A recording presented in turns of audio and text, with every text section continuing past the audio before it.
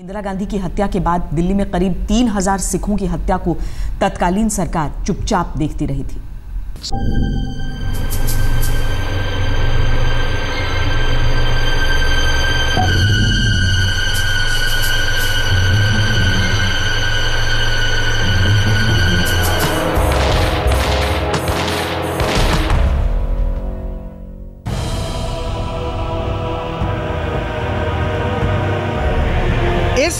के साथ ही हिंदुस्तान की आत्मा भी जैसे मर गई थी। गणतंत्र के गिद्धों को संवेदना के शव पर महाभोज का मौका मिल गया था। हमने सिर्फ़ अपना प्रधानमंत्री नहीं खोया था, अपनी लोकतांत्रिक आस्थाओं का आलोक भी खो दिया था। इसके पहले कि इंदिरा गांधी का जनाजा निकलता, दिल्ली की गलियों से जनतंत्र की अस्थियाँ निकलने लगी थी। अधूरे इंसाफ की ये पूरी कहानी हम बताएँगे आपको, ले चलेंगे आपको, आंसुओं के अंधकूपों में पलटेंगे, इंसानियत से अनंत फरेब के सहमे हुए पन्ने और तोलेंगे, संविधान के अधिकारों से सूख चुकी सिस्कियों को। तीस साल हो गए उन उजाड़ बस्तियों में आज भी घायल पड़ा है इंसाफ, दिल्ली में नए बाबू आए हैं, उम्मीद की बत्ती फिर से जलाई है। आम आदमी पार्टी के मैनिफेस्टो में ये इम्पोर्टेंट वो था आ, कि जो उन्नीस सौ चौरासी के सिख दंगे हुए थे उसमें एसआईटी के गठन के ऊपर हम लोग काम करेंगे। तो आज एलजी साहब से सुबह मुलाकात के दौरान मैंने इस बारे में आ, बात की और वो इसके लिए काफ़ी पॉजिटिव हैं। अरविंद केजरीवाल ने कहा है शायद कुछ होगा भी मालूम नहीं कितना वक्त और लगेगा कौन जाने हो भी या नहीं। लेकिन हो भी जाए तो क्या हमारे अंदर इतना साहस बचा है कि इस रस्म को इंसाफ कह दे? एसआईटी के गठन का मामला और उसके क्या टर्म्स ऑफ़ रेफरेंस होंगे ये अब अगली कैबिनेट मीटिंग में हम लोग अजीब लगता है घिन्न सी आती है। ये सोच कर भी कि हमारे रहनुमा देखते रहे थे खिलखिलाती हुई बस्तियों को बूचड़खाने में बदलते हुए। देखती रही थी पुलिस पलटन कानून के विधाता और तलवारों की नोक पर टांगी जा रही थी, संवेदना की पगड़ी।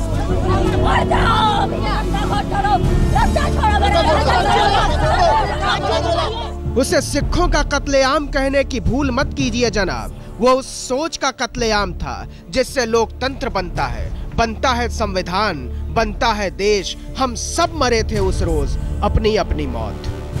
पाँच बेटे मेरे दो भाई मरे जो हमारे बड़े बच्चे दर्शन सिंह के से वो रात हो गए। दो लड़के एक लड़की। लड़की अब शामी हो गई।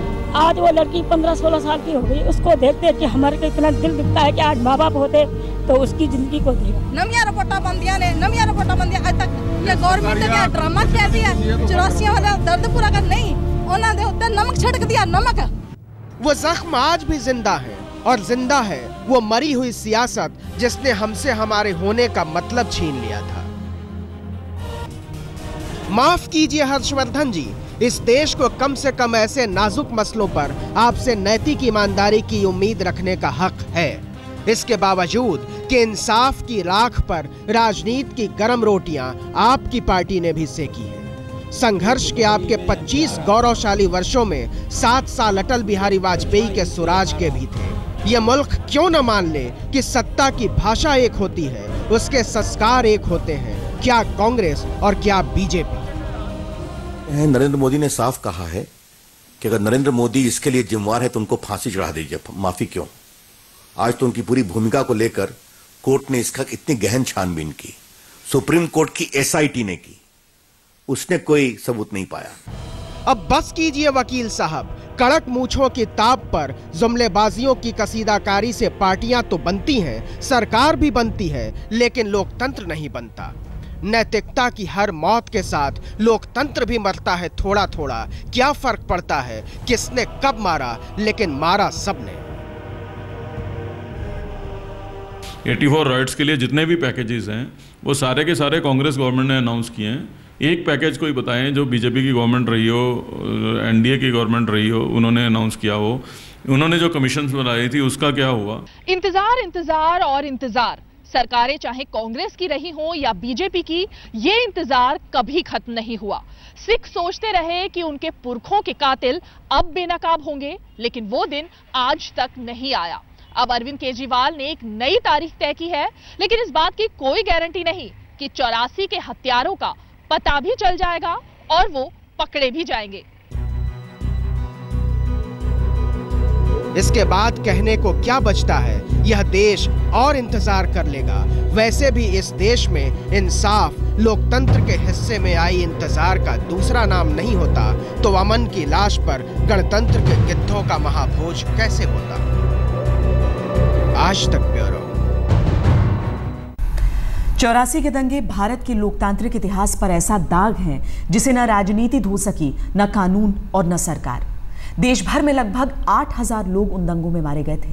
लेकिन सबसे भयानक तस्वीर दिल्ली की थी, जहाँ मोहल्ले के मोहल्ले वीरान हो गए थे। आपको लेकर चलते हैं 30 साल पहले।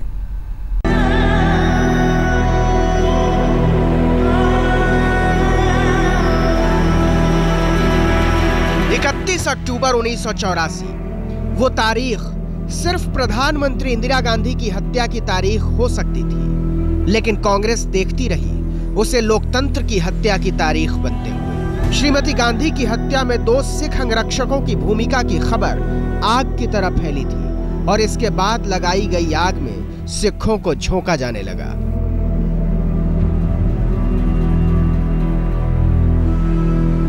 गुरुद्वारे के ऊपर हमारे नौजवान बच्चे साड़े गए। तो कांग्रेस तो हमारा दुश्मन है। टाइटल को सज्जन कुमार को फांसी आनी चाहिए। सिखों का न्याय मिले, अभी न्याय नहीं मिला है। ना हमारे आँखों की आँसू गई है, नहीं हमारे जख्म भरे हैं। चश्मदीद बताते हैं कि कांग्रेस पार्टी के नेता और कार्यकर्ता अमन के झोपड़ों में आग लगाने के लिए पेट्रोल और सलाई बांट रहे थे। सिखों के इलाके सुनसान होते जा रहे थे। सुल्तानपुरी, मंगोलपुरी, त्रिलोकपुरी और तिलक नगर जैसे दर्जनों मोहल्लों में मौत पगड़ी वाले मानवों को खोज खोज कर दरवाजों से बाहर खींच रही थी। खून का बदला खून के नारे ने कांग्रेस में नई जान डाल दी थी। सुल्तानपुरी में खड़े होकर इन्होंने कहा था, मार दो सिखों को, मार दो इनके बच्चों को, खत्म कर दो। एक बार फिर पता चला कि आदमी सिर्फ़ आदमी नहीं होता। वो हिंदू, मुसलमान, सिख, ईसाई, बौद्ध, पारसी, जैन या यहूदी होता है और राजीव गांधी की सरकार ने हिंदू होना चुना था। इस चयन ने हत्यारों को सिखों के कत्लेआम की छूट दे दी थी। हम ना तो हमने आज तक कांग्रेस का समर्थन किया है। जिसने हमारे घर उजाड़ दिए, हमारे भाइयों को, हमारे माता पिता को मार दिया, सब कुछ तबाह कर दिया, उसके साथ तो हमारे को कोई हमदर्दी हो ही नहीं सकती। सीबीआई की रिपोर्ट बताती है कि दिल्ली पुलिस ने आँखें बंद कर ली थी। एक दूसरी रिपोर्ट बताती है कि पुलिस के अफसरों की निगरानी में ही सब कुछ होने दिया गया। 31 अक्टूबर उन्नीस सौ चौरासी के सुबह 9 बजे से 2 नवंबर की शाम 4 बजे तक दिल्ली में पुलिस और प्रशासन की अघोषित छुट्टी थी। दुकानें लूटी जा रही थी, घर जलाए जा रहे थे, औरतों को, बच्चों को, बुज़ुर्गों को खींच खींच कर मारा जा रहा था। ऐसे मारे जैसे चूहे को मारी, जैसे देखने के, बात करने से सीना फटता ऐसे बात भी नहीं करी जाती। बेशक तीस साल गुजर गए ना, पर हमसे मेरे से बात नहीं करी जाती।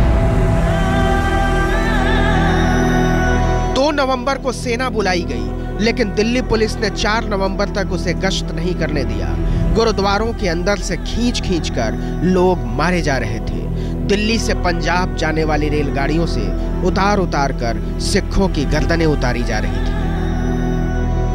दिल्ली पुलिस ने तीन दिन लगातार ये कत्लेआम करते रहे और दिल्ली पुलिस जो है मूक दर्शन बनी रही। उसने रोकने का भी प्रयास नहीं किया, एक गोली नहीं चलाई, किसी को डंडा नहीं मारा, किसी को बंद नहीं किया। सिखों ने जान बचाने के लिए केश कटवाने शुरू किए, पगड़ी तक उतारी, लेकिन लोकतंत्र के हत्यारे नरसंहार की प्रस्तावना को अंतिम अध्याय तक ले जाना चाहते थे। सौ, दो सौ, पाँच सौ, हज़ार दो हज़ार तीन हज़ार हिंदुस्तान की राजधानी राक्षसों के हवाले थी। तीस साल से सिर्फ़ और सिर्फ़ बातें होती रही हैं और कुछ भी नहीं हुआ है। Sajjan Kumar Lalit Maken H K L Bhagat और जगदीश टाइटलर की चौकड़ी रात रात भर अपने काम में जुटी हुई थी। इस चौकड़ी की पूरी कहानी भी दिखाएँगे आपको। जरा सोचिए वोटर लिस्ट और राशन लिस्ट से खोज खोज कर सिखों के घर पहचाने जा रहे थे।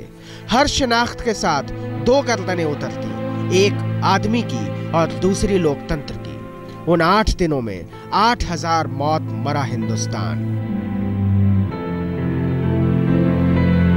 लाखों के घर कौड़ियों में बेच बेच कर भाग रहे थे सिख। मालूम नहीं कहाँ संविधान से मिला जीने का मौलिक अधिकार, अनुच्छेदों और धाराओं के बीच अपनी मौत मर रहा था। कोई नहीं था जो किसी को रोक लेता। जिन आँखों ने वो मंजर देखे हैं, वो आँखें आज तक नहीं सूखी।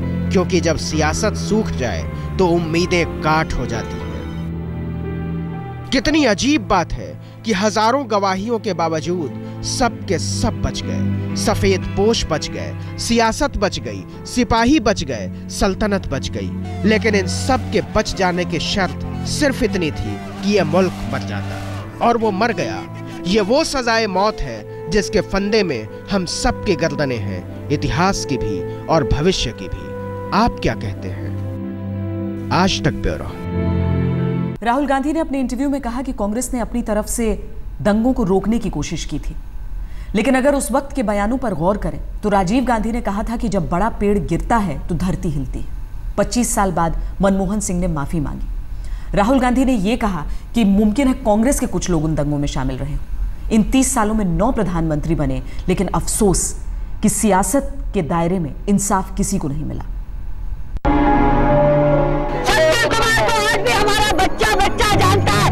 टाइटल को सजन कुमार को फांसी आनी चाहिए। उसको भी अरेस्ट करें और उसको भी सजा दें उसको भी फांसी दें।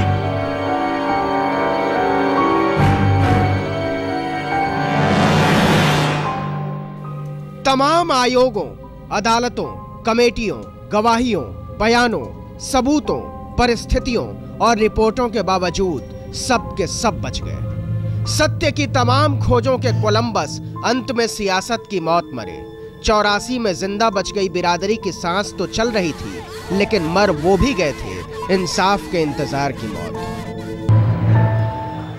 कुछ बच गए और कुछ बरी हो गए। सज्जन कुमार भी, जगदीश टाइटलर भी, ललित माकन भी, और एच के एल भगत भी। कानून की सत्ता ने पीड़ितों की नज़रों को गवाही मानने से इनकार कर दिया था। जज साहब एक सेकंड भी खड़े नहीं हुए। मैं तो वहीं बैठ गई थी। कि उस मैं कह रहा ये चाह रही थी कि सज्जन कुमार को आपने बरी कर दिया तो मुझे सजाए मौत दो। कांग्रेस सच से भाग रही थी। दिसंबर उन्नीस सौ चौरासी में दिल्ली पुलिस के एसीपी वेद मारवा को सिखों के कत्लेआम की जाँच का जिम्मा सौंपा गया लेकिन सरकार को पता चला कि मारवा सच को लेकर कुछ ज़्यादा ही गंभीर है। इसीलिए मई 1985 में उन्हें हटाकर जस्टिस रंगनाथ मिश्रा को लगा दिया गया। छियासी में रिपोर्ट आई और रिपोर्ट क्या थी? एक भद्दा और भयानक मज़ाक। जस्टिस रंगनाथ मिश्रा ने सारे अफसरों और नेताओं को क्लीन चिट दे दी और लिखा किसी का नाम लेना आयोग का मकसद नहीं था। इसके लिए तीन अलग से कमेटियाँ बनाई जाए। दुर्भाग्यपूर्ण है। ये देश के इतिहास पर कलंक है। कांग्रेस दिखाने की कोशिश करती रही कि वो सिखों को इंसाफ दिलाएगी लेकिन वो अंदर ही अंदर अपने नेताओं की चमड़ी उधड़ जाने के डर से घबराई हुई थी एक आयोग दूसरा आयोग तीसरा आयोग दस आयोग बने लेकिन इंसाफ का इंतज़ार नहीं खत्म हुआ और 2007 में इंसाफ तब हुआ जब सीबीआई ने जगदीश टाइटलर के खिलाफ सारे मामले बंद कर दिए 21 years, seven commissions sat. Not one commission even took my name. Not one. Even till today, there's no FIR against me. Even a little constable has not come to ask me a question. फाइलें ज़िंदा रहीं और उम्मीदें मरती रहीं मरती रहीं मरती रहीं और मरती रहीं अप्रैल 2013 में सज्जन कुमार भी इंसाफ की सदगति को प्राप्त हुए बरी हो गए आज न्यायपालिका से जो मुझे न्याय मिला है न्यायपालिका ने मुझे निर्दोष साबित किया है। उन्नीस में कपूर मित्तल कमेटी ने बहत्तर पुलिस वालों के नाम लेकर कार्रवाई की सिफारिश की थी। तीस को तो फ़ौरन बर्खास्त करने की सिफारिश थी लेकिन सिपाहियों ने सियासत वालों को बचा लिया था और सियासत वालों ने सिपाहियों को बचा लिया। और इस तरह चौरासी के दंगों का इंसाफ इंतज़ार की मौत मर गया। ये बेशक सौ साल भी लग जाए। इंसाफ जब तक मिलेगा नहीं ये स्ट्रगल जारी रहेगी। ये स्टेट स्टेट स्पॉन्सर्ड कार्नेज था जिसको ये राइट्स कहते हैं। कांग्रेस को लगा कि चुनाव में जाने से पहले इस इंसाफ का हिसाब करना होगा तो प्रधानमंत्री मनमोहन सिंह ने माफ़ी की मुद्रा बनाई और संत हो गए। I have no hesitation in apologizing not only to the Sikh community but to the whole Indian nationhood because what took place in 1984 uh, is the negation of the concept of nationhood enshrined in our constitution. Congress फिर जीत गई लेकिन न्याय तब भी नहीं जीता। तीस बरस बाद राहुल गांधी ने भी स्वीकार किया कि कांग्रेस चौरासी के कत्लेआम के न्याय को लेकर ईमानदार नहीं थी। उन्नीस सौ चौरासी के दंगों में मासूम लोग मारे गए थे और उनका मारा जाना बहुत भयानक था जैसा नहीं होना चाहिए। उन्नीस सौ चौरासी और गुजरात दंगों में फ़र्क ये है कि गुजरात दंगों में सरकार शामिल थी। चौरासी के दंगों के दौरान सरकार दंगे रोकने की कोशिश कर रही थी।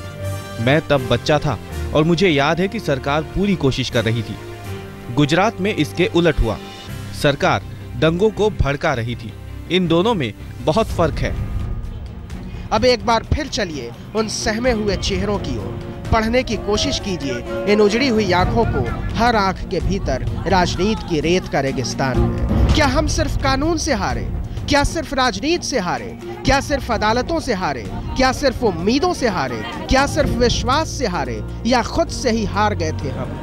सोचिए, क्योंकि नागरिक जब खुद से हारने लगे तो मुल्क हार जाता है। पूछने का जी करता है क्या आज़ादी सिर्फ़ तीन थके हुए रंगों का नाम है, जिसे एक पहिया ढोता है, या इसका कोई खास मतलब होता है। कोई बताएगा क्या? आज तक ब्यूरो।